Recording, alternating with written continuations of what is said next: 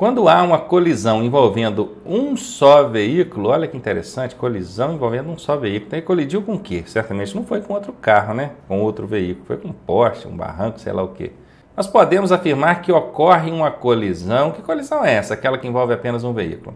Gente, quem fez o nosso curso lá pelo autoescolaonline.net, cursos online, ele recebe essas dicas todas. Não tem erro. Acidente de trânsito envolvendo apenas um veículo, aquele que é caracterizado por envolver apenas um veículo, é a colisão misteriosa.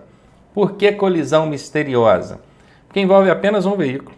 Outra característica forte dela: a vítima ela é fatal, morreu ou ficou gravemente ferida na, numa condição que ela não consegue contar o que aconteceu, porque se ela contar, aí deixa de ser misteriosa. Entenderam? Em condições desconhecidas ou duvidosas. Vou dar um exemplo. A pessoa fazendo uma viagem, chegou numa curva, muita serração, ela não viu para que lado que era a curva, passou para o lado errado, caiu no buraco, bateu lá embaixo e morreu. Envolveu apenas um veículo. A vítima morreu.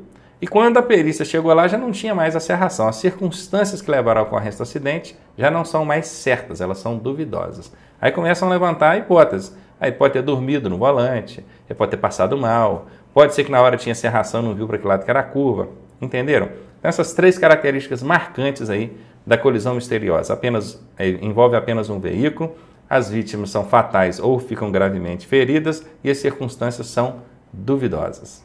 Bom, antes da resposta, eu quero te avisar que eu criei um treinamento com todas essas armadilhas e pegadinhas, essas covardias que o Detran faz em prova. Se você quiser conhecer, eu vou deixar o link aqui na descrição e também nos comentários fixados no topo. Confere lá. Dirigir um veículo com validade ou com a validade da CNH vencida há mais de 30 dias, olha que interessante, há mais de 30 dias. Por que o examinador colocou que há mais de 30 dias?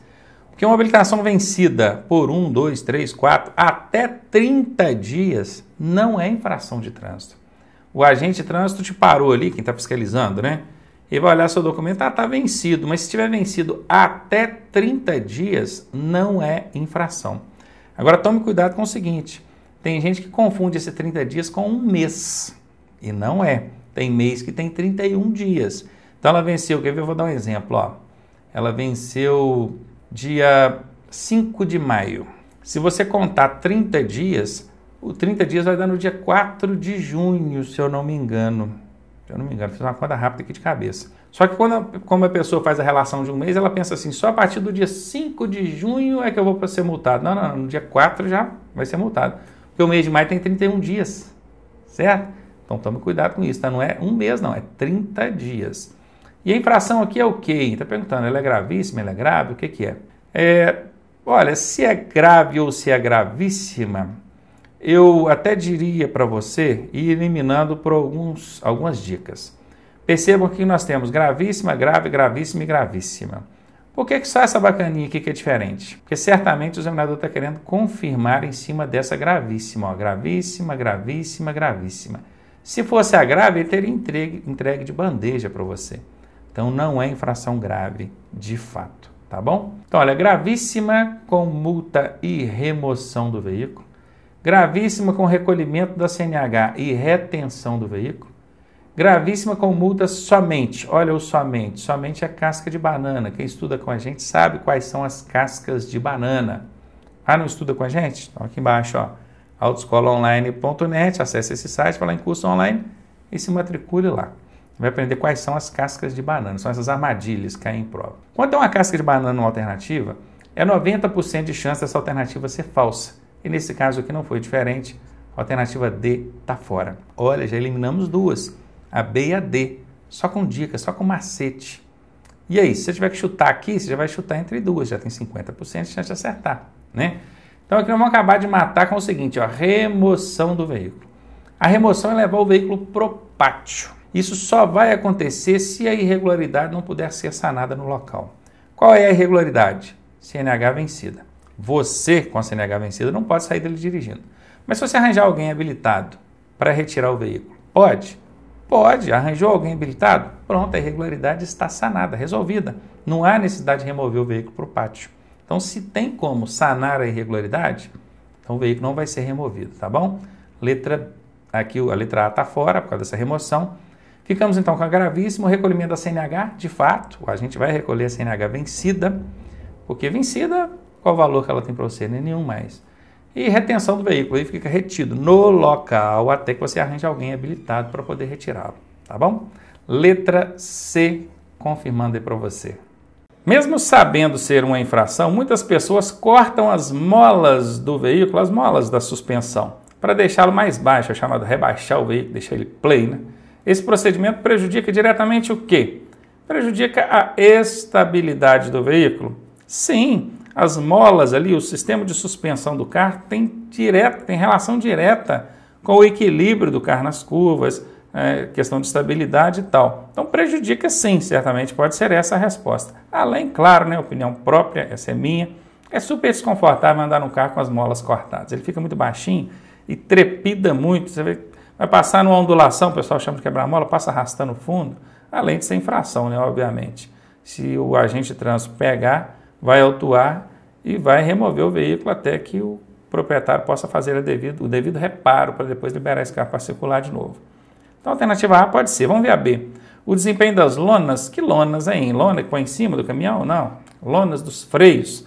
Não tem relação direta, tá? Então já vou até eliminar aqui. As molas do sistema de suspensão não tem relação direta com freios aí. Se vai prejudicar, porque vai exigir mais dos freios, é uma relação indireta, né? Na hora de você curvar, tem menos estabilidade, acaba prejudicando? Pode ser que sim, mas é uma relação indireta, então não vou considerar. É, tem relação aí com as peças móveis do motor? Mesmo modo, também não vejo relação, pelo menos direta não. É, interfere na vida útil do disco de fricção? Também não. Então, letra D fora, com certeza aqui, resposta A. Ao notar árvores ou vegetação que estejam encobrindo a sinalização de trânsito, o condutor deve redobrar a atenção, tudo bem, tem vegetação ali tampando a sinalização, ele deve redobrar a atenção, ok. Reduzir a velocidade, também está ok. Para identificar ali algumas restrições de circulação, se é uma curva perigosa, velocidade que ele pode desenvolver, cara, tudo bem, ó.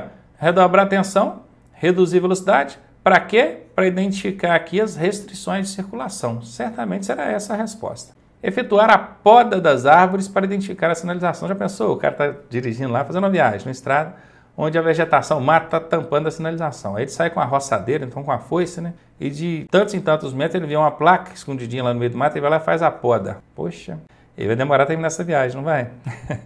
Absolutamente absurda essa alternativa. B está fora.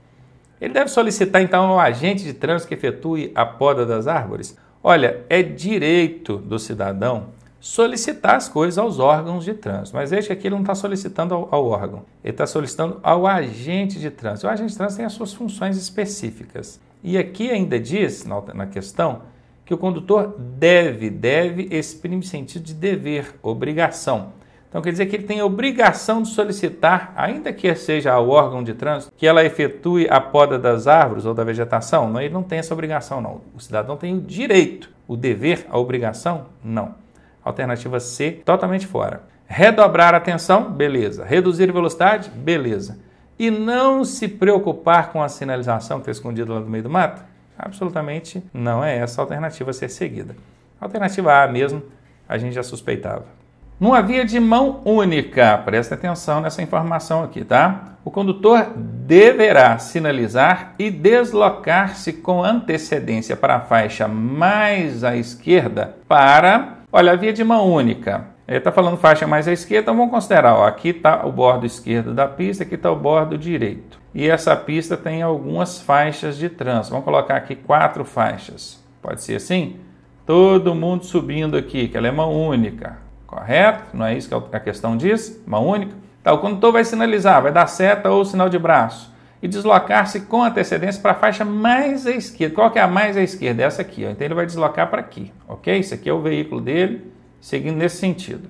Ele deve fazer isso para quê? Para entrar à esquerda. Vamos supor que aqui à frente tem uma entrada à esquerda. Ele precisa fazer isso, sinalizar aqui com a seta ou sinal de braço deslocar para a faixa mais à esquerda. É correto esse procedimento para entrar à esquerda? Sim, é correto. Então a alternativa A pode ser a resposta. Vamos na B. Para mudar de faixa de trânsito? Não necessariamente. A mudança de faixa ela pode acontecer para a direita, para a esquerda, de um em uma faixa, obviamente, não lá na mais à esquerda. Então, nada a ver, essa alternativa B está fora. Fazer uma ultrapassagem. Olha, as ultrapassagens são feitas pela esquerda de quem você está ultrapassando. Mas é preciso que ele, ele venha cá para a faixa mais à esquerda para fazer uma ultrapassagem? Não. Eu vou dizer por quê. Imagine que aqui tem um caminhão, tá? Isso aqui ó, é uma carreta, tá? E aqui atrás está o veículo que quer ultrapassar. Ele precisa vir cá na faixa mais esquerda para fazer a ultrapassagem? Não, não, não. Ele pode simplesmente deslocar, aliás, é o que ele vai fazer, né? Deslocar uma faixa para a esquerda e vai fazer a ultrapassagem. E observe que a questão que está dizendo a faixa mais à esquerda, que é essa aqui, ó, beleza? Então, para fazer ultrapassagem, não. Para aumentar a velocidade, olha, que a faixa da esquerda ela é destinada a veículos mais velozes, tudo bem. Mas ele precisa sinalizar para aumentar a velocidade? Não, né? Então a alternativa D também está fora. Para entrar à esquerda não tem nenhuma contestação. A resposta é A, sem sombra de dúvidas. Quando há sinais claros de que a vítima não tem respiração ou pulsação, a parada cardiorrespiratória, né? Não há mais tempo a perder e, portanto, deve-se virar a vítima de bruços e tentar comprimir suas costas. Olha, sinceramente, eu nunca vi nenhuma manobra de primeiro socorro que compreendesse esses procedimentos aqui. Então, letra A, fora. Colocar a vítima de costas sobre uma superfície rígida e iniciar as manobras de reanimação. Manobras de reanimação aqui é a compressão sobre o tórax, não vamos entrar no detalhe. Mas colocar sobre uma superfície rígida, por quê? Sim, essa é uma, uma observação a ser colocada ali na hora de fazer um, uma manobra de reanimação cardíaca, porque se a pessoa estiver sobre uma cama ou superfície móvel, flexível, você aperta o peito e ela afunda as costas, aí você não consegue fazer a manobra com eficiência. Então tem que ser uma superfície rígida. No chão, no chão serve, sendo rígido. Então aqui serve, isso aqui serve como resposta. Não adianta fazer mais nada. Olha o que a letra C está dizendo, né? Ele está fora. Você deve removê-lo imediatamente para o pronto-socorro mais próximo. Também não é procedimento adequado. Veja bem, você fazer a remoção de uma vítima comparada à cardiorrespiratória para um pronto-socorro, por mais próximo que seja, por melhor que esteja o trânsito, mais livre que seja o trânsito, você vai gastar de 5 a 10 minutos no mínimo e seja mais do que suficiente, tempo mais do que suficiente para ele vir a óbito e não ter mais recuperação. Então veja que não há mais tempo a perder. Viu aí? Não há mais tempo a perder. Então levar para o hospital, ainda que imediatamente e ainda que mais próximo, não é o adequado. A resposta aqui é letra B mesmo. Caminhonete e carro de mão são veículos quanto à espécie classificados como Olha, os veículos são, são classificados quanto à espécie, que é o tipo de veículo, se ele é de passageiro, se ele é de carga, se ele é misto, que é carga e passageiros no mesmo compartimento, se ele é de competição, se ele é utilitário, tem vários tipos ali dentro da espécie. Tem também tração, os veículos são classificados quanto a tração. O que é a tração dele? É o que faz ele andar. Ele é automotor, ele é elétrico, ele é de propulsão humana, ele é de tração animal. E tem também a classificação quanto à categoria. O que é categoria? O uso dele, ele é particular, placa cinza. Aí ele é de aprendizagem, o da autoescola, placa branca com dígitos vermelhos, isso ainda no padrão não Mercosul, tá? Placas de padrão Mercosul, elas estão, estão mesmo mantendo aí, pelo menos para aprendizagem, em fundo branco, caracteres e borda vermelha. Então aqui nós temos classificação quanto à espécie, tração e categoria, mas a questão que está querendo saber é o seguinte, a caminhonete e o carro de mão, dentro da classificação espécie, são o quê? Uma caminhonete é um veículo de carga. Um carro de mão também é um veículo de carga. E estão dentro da categoria espécie. Então está aqui, eles são veículos de carga. Se fosse caminhoneta, caminhoneta, e não tivesse aqui o carro de mão, a caminhoneta é um veículo misto transporta carga e passageiros no mesmo compartimento? A resposta seria A. Então presta bem atenção, tá? Tem uma sutil diferença entre caminhoneta e caminhonete. Caminhonete é misto, é carga, enquanto caminhoneta é misto, carga e passageiros. A marcação de área de conflito, o que é isso? Marcação de área de conflito. É esse quadriculado amarelo que tem aqui no meio do desenho aqui, ó. Perceberam? Essa sinalização que chama-se marcação de área de conflito identificada na imagem que ele está mostrando aqui, significa que o condutor não pode circular com seu veículo, pois é área exclusiva de pedestres. Olha, claro que o condutor vai poder circular aqui, nisso aqui está no meio de um cruzamento, ele vai passar para lá, para cá, E isso aqui, obviamente, não é a área de circulação de pedestres. Os pedestres eles circulam aqui, nas faixas próprias, então totalmente absurda essa alternativa, está eliminada. A alternativa dele diz que ele não deve parar e estacionar o veículo aqui nessa área. Com certeza, imagine o sujeito imobilizar aqui um veículo dentro dessa área, seja a parada ou o estacionamento. Não vai ficar legal, né? Então, certamente, a alternativa B será a resposta. Vamos analisar a C e D também. Ele pode estacionar sua motocicleta aqui? Claro que não. Bicicleta também é veículo, então não pode.